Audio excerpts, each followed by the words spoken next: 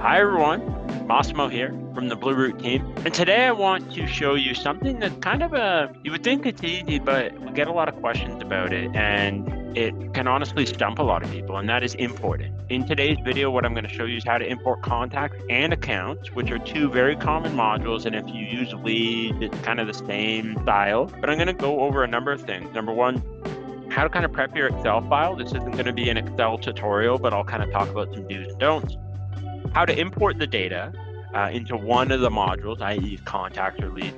And then also kind of a nice little tidbit and also very important if you're doing two tables is how to join them. So for example, how to say Massimo works for BluRoot. As always, please like, comment, subscribe. We love hearing from you. And this was actually, uh, this video was actually really generated by user feedback. So we love hearing from you. I'll also invite you to join our inner circle. It's something we're really proud of. We just launched it this month.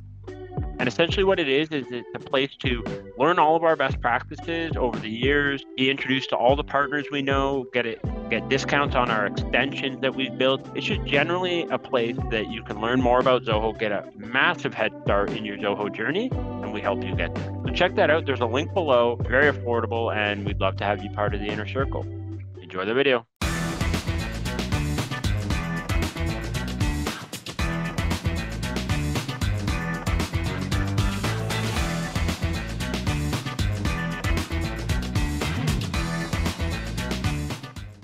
Alrighty, so let's get into it. So there's a few assumptions I'm going to make in this video or, or guidance I'll give. And number one is if you're importing into Zoho, you cannot import a PDF or a Word doc or a photo. You're going to have to work with Excel formats or table formats. So .csv or .xls, which are both available to be opened by Excel, is what you're going to need to import with. And the way Zoho works is they want your Excel file or your CSV set up like this.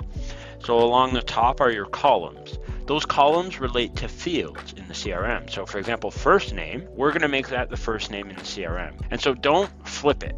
Don't put like first name in the rows and then their name. That's not gonna work. How Zoho wants it is like this.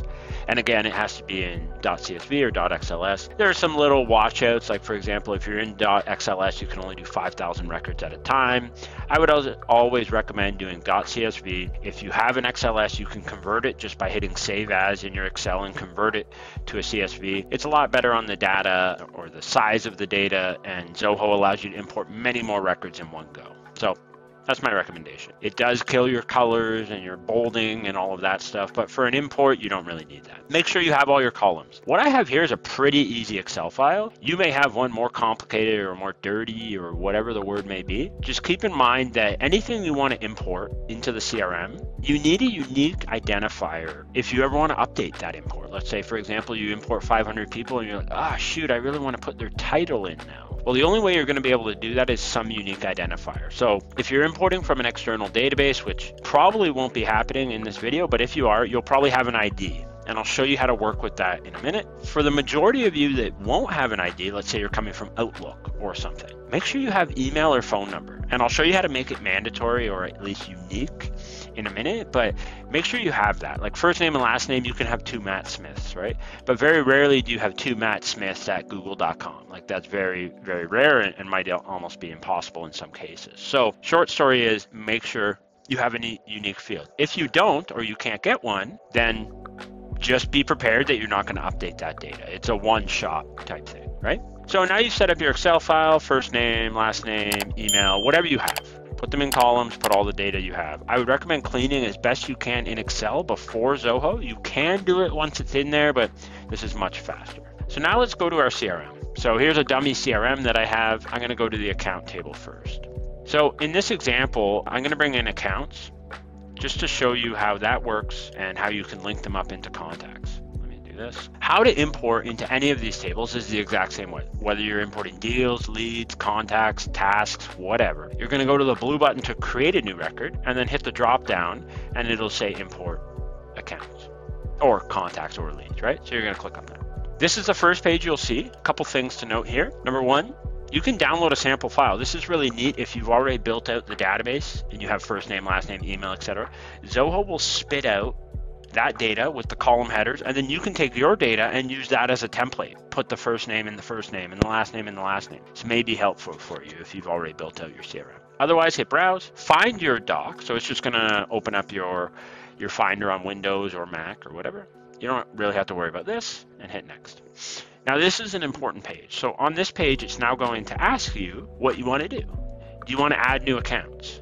Do you want to update existing accounts or do you want to do both? And so this is a question posed back to you, but if you think of your use case, at least typically what I see is people either want to add or do both.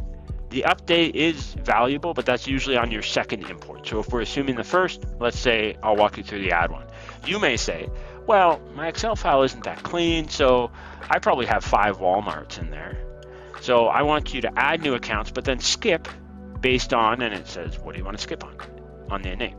So now what it when it sees the second Walmart and the third Walmart and the fourth Walmart, it'll skip them. So that might be interesting to you, right? Update is similar, but instead of skipping, it'll update it. And you can tell it the same thing. Okay, so a use case here would be you already brought in your data, Walmarts and all the accounts. Now you're like, oh shoot, I want to add in their postal code or their zip code. Well, now you can import the Excel file again and tell it to update. So go find Walmart, and then update the zip code. Now, so this is common for the second, third, whatever import, right? Keep in mind this. So what this is saying is, for example, if Walmart, the account, now has an empty value, say street name is blank, and then you bring in your Excel file and you want to overwrite that, you can tell it not to, right? So you could say don't update empty values. So if it's empty, don't update it. Typically people have this, so if there's street name in the Excel file and not street name in, in the CRM, it'll update. And then both is very similar. Now this one, if it finds Walmart, it'll update it. If it doesn't find Walmart, it'll add it. So for this example, I'm gonna hit both and then hit next.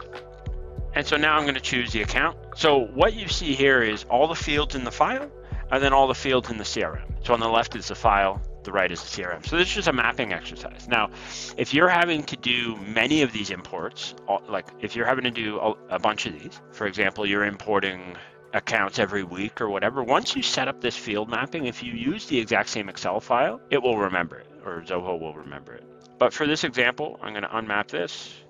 And so now I'm going to say, okay, company in my Excel file is the account name in Zoho. And phone in my Excel file is the phone in Zoho. From my Excel file, that's all I'm going to map. In yours, you might have street and city, etc. So there are some things you can do here. Number one, you can click mapped, unmapped. So this will show you everything that's mapped, everything that's unmapped.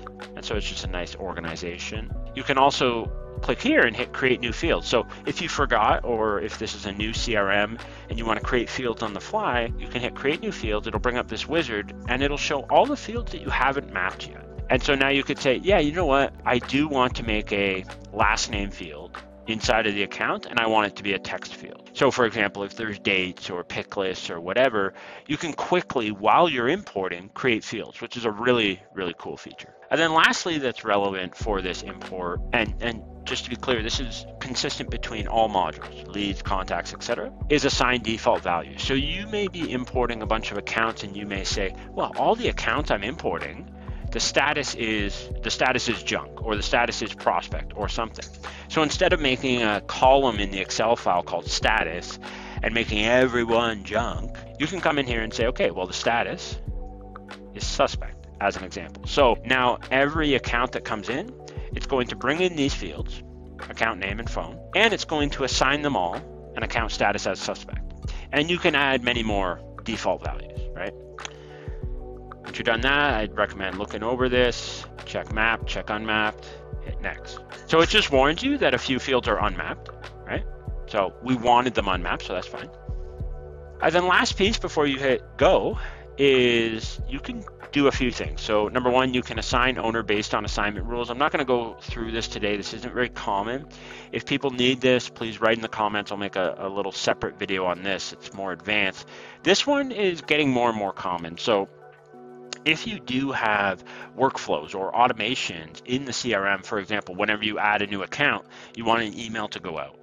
Well, you can tell this to trigger it, and what will happen is when it does this import, it will trigger that workflow and send out the emails. You may say, no, no, I'm just bringing in these accounts. I don't want any automations to happen, and you can keep it unchecked. Lastly, you can add some follow-up action. So if you're importing this on behalf of someone or for the company or whatever, and you say, okay, I'm going to import these 100 accounts, and now I want the sales guy to be able to, or to get a task to call these accounts, you can do that here, right? So you can actually create a workflow task that will do that. And I hit finish. And now what will happen is it says it's been scheduled. So it's bringing in this data and you can find that in a couple spots. If you hit the settings icon here and then import and then import history, you'll see here all the accounts, right? And so you can see here that it skipped a bunch of records. So what I'm clicking on here is 355 accounts came in.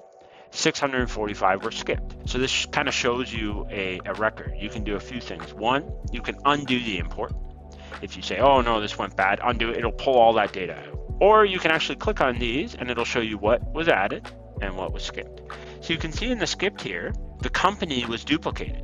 So basically what in the import we told it is to skip the records if there's another record with the same name. So th what this is saying is there was at least more than one Twimbo account you can see two right here, right? So that's what will happen if you turn on those skips. Now, it may have skipped records and you weren't expecting that, right? And so you can download the list of the errors, clean it up in Excel, and then bring it back in. So when you hit download here, it's actually going to give you a CSV file of what was skipped, and then you can re-import that. So that's really handy. So that's basically the general gist of importing data into the CRM, but there is one last little thing I'm going to show you, which is connecting two tables. So what we did is we just brought in the accounts. Now what I'm going to do is bring in the contacts or the people who work there, and you want to attach them. And so how you're going to do that is I'm going to go into the contact module. I'm going to do the same thing, import. I'm going to bring in the same file. That's totally fine, right? In that file, if you remember, we had first name, last name, email, phone, and then company. So majority of it was for Massimo, the person, and then the company was the one piece that wasn't. I'm gonna do the same thing. I'm gonna say both, and I'm gonna say skip by email. Like I said, have something unique. So now what I'm gonna do, I'm gonna say, yep, yeah, first name, yep, last name, email, and then company. This is the cool part. So you can go to account name and then choose account name. So what this is doing, what you're seeing here is, this is another whole table. So let, let me just, account name, just to give you full context here. I'm gonna go into a contact here. I'm gonna create one. So you can see here, there's a field called account name. So that's what it's showing here, account name. It's a lookup to another table. And it's saying, how do you wanna join it? Do you wanna join it by the ID or the name? Well, I'll just say name.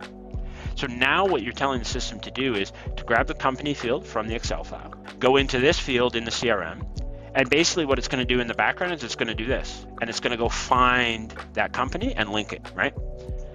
So now we're going to hit, yep, next. And then I'll hit finish. And now you'll see, for example, one of these accounts here. So if I open up Photobug, right now it has no contacts. It should have at least one contact soon right? As this stuff comes in. And so you can see here, once again, go to the import history. You can see a thousand contacts came in. So if I refresh my page here, you'll see there will be one on the contact. Now, if I go to Dimitri, you'll see here Photobug.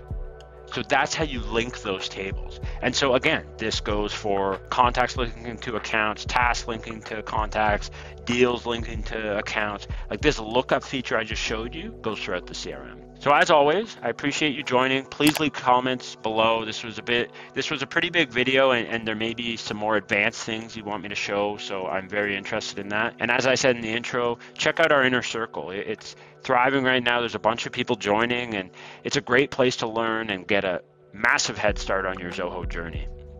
See you in the next one.